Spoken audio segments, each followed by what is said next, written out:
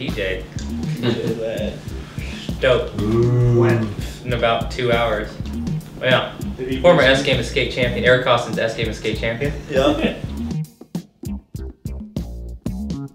Well, I, I I got sick, and so I couldn't skate.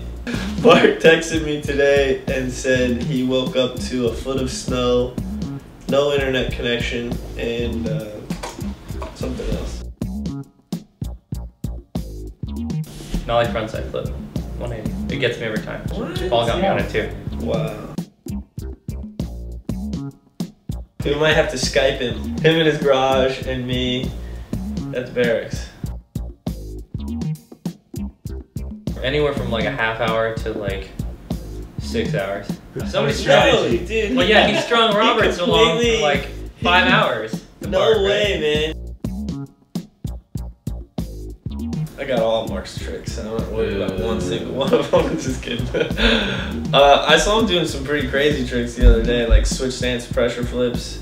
That arrow skating escaped me, so I can't do that.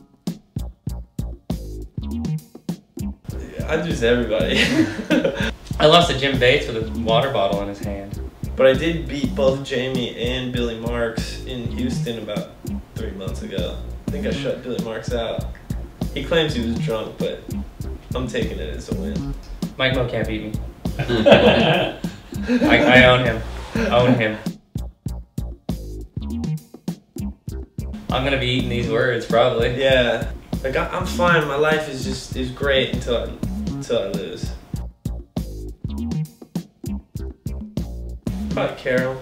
Ariel still looks he looks a little weird right now as it is.